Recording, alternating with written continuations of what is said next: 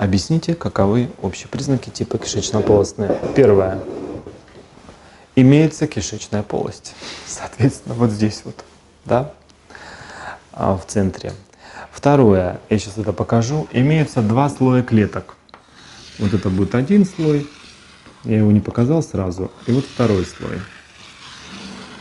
А, наружный слой эктодерма, внутренний слой энтодерма, а это уже кишечная полость.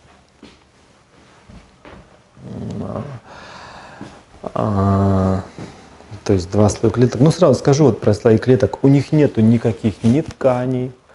А, ну, как сказать, одна ткань есть, но в основном ткани нет. Сейчас про одну ткань я скажу. Ну, тканей нет, органов нет в основном.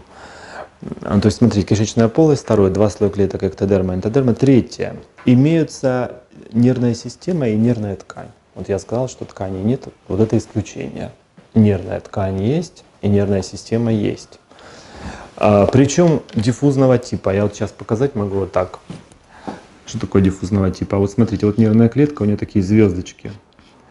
И она соединяется с другой вот такими звездчатыми отростками. Ну, в общем, видите, они соединяются друг с другом. Но в том-то все и дело, что клетки по одной разбросаны в эктодерме, в наружном слое, они не связаны, в группы не собраны. Они, видите, рассеяны по одной. И такая нервная система, вы прям пишете в ЕГЭ, не просто нервная система имеется, а вы пишете нервная система диффузного типа. Диффузная это вот такая вот рассеянная. Вообще сейчас на, сейчас на, на Земле, знаете, сколько нервных систем всего существует? Видов две. Гла, две главных на планете у живых существ сейчас нервных, нервных системы. Первое это вот это, вот это вот. У них только лишь кишечно-полостного, диффузного типа. Вторая называется узловая. Узловая это уже у всех других. Мы будем изучать. Их там бывают узловые уже разные виды, правда. Но узловая, когда в группы собраны.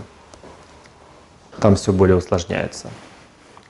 А третье свойство в типе кишечно-полостных, который вы веган, четвертое вернее. Да, тут четвертое надо написать уже.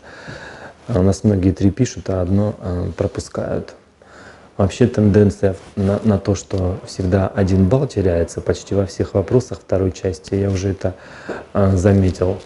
Но, знаете, я вам так хочу сказать, вы должны менять стратегию. Если вы понимаете, что вы плохо контрольно написали мою, значит увеличивайте время своей подготовки.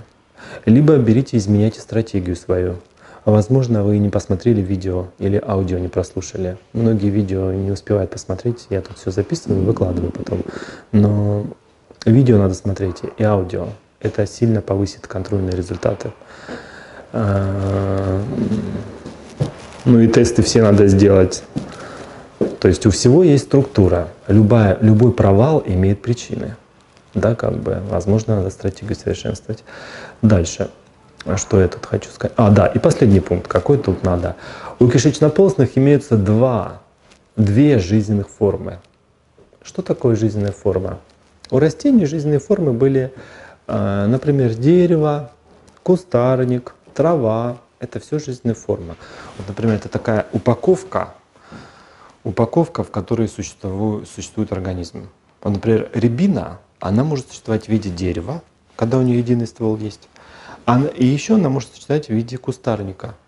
Когда она в виде кустарника, у нее несколько стволиков маленьких. Вот вам жизненная форма. А оказалось, у животных тоже есть жизненная форма. У некоторых типов животных, не у всех. Ну и у растений тоже не у всех, правда. То цветковых мы такое выделяем. А, в общем-то, у мхов, например, не бывает деревьев тоже, да. А тут вот это перед вами нарисована. Первая форма называется полип. Полип ведет прикрепленный образ жизни. Видите, у нее есть а, здесь вот подошва, она прикрепляется. Но есть вторая жизненная форма, медуза. Это уже подвижная жизненная форма. В общем-то, в этом отличие. Ну, кстати, даже и полип, если вы возьмете полип, его оторвете, он вообще в целом прикрепленный, неподвижный, но могут и двигаться немножко. Если вы его оторвете, сплюснете, перевернете, уже будет похож на медузу да, то есть они как бы взаимно переходят. можно так сказать. У некоторых кишечно-полостных они прям в едином цикле могут переходить друг друга. А можно медузу вытянуть, перевернуть и уже получим вот такой вариант да, жизненной формы.